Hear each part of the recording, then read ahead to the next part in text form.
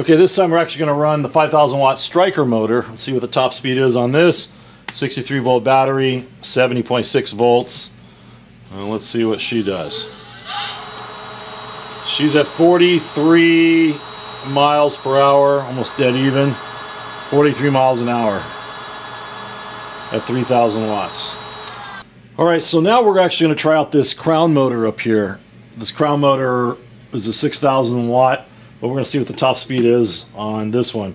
We've got the 63 volt battery, 3000 watt controller, so we're going to putting 3000 watts through the system. See what the top speed is on this on this motor. So right now I'm at 44.6 miles per hour top speed.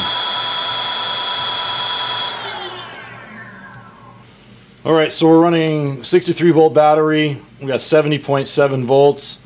Uh, we're going to do a 3000 watt test through this motor. This is the uh, 5000 watt 40 millimeter Thunderbolt motor. Let's see what the top speed is on this guy at 3000 watts. So we're at 51.3 miles per hour at 3000 watts.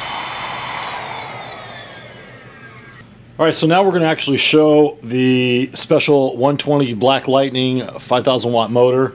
Uh, we're going to get the top speed here. So as I hit the throttle, we're at 63 miles per hour on on the Black Lightning motor. 63 miles per hour at 3,000 watts.